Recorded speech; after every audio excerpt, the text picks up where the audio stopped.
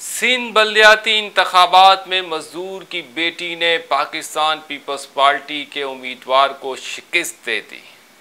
सिंध में होने वाले बल्दियाती इंतबात के पहले मरहले में खैरपुर से ताल्लुक़ रखने वाली एक मजदूर की बेटी, परवीन शेख ने बतौर आज़ाद उम्मीदवार इलेक्शन जीत लिया। बल्दियाती इंतबात में परवीन शेख ने 430 वोट हासिल किए, जबकि उनके मुखालिफ पीपल्स पार्टी के उम्मीदवार मंठार शेख सिर्फ़ 190 वोट ही हासिल कर पाए।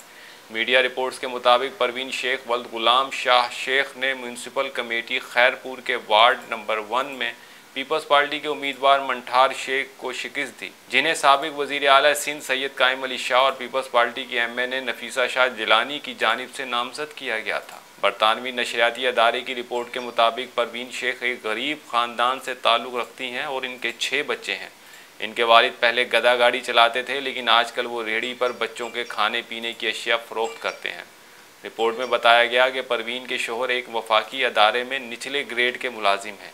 इलेक्शन से कबल दी न्यूज़ से गुफ्तु करते हुए परवीन शेख का कहना था कि मैं इलेक्शन जीतने के लिए पूरा अतमाद हूँ। मेरे वालिद भी सियासी मसाइल की वजह से मेरे ख़िलाफ़ हो गए थे।